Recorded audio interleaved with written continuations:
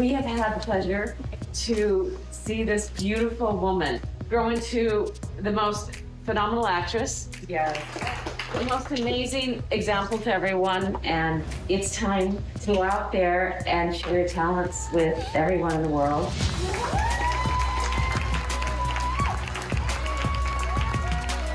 This show has meant everything to me. It's been my home, it's been my community, it's been my family, my identity, and it's what I'm most proud of in my life.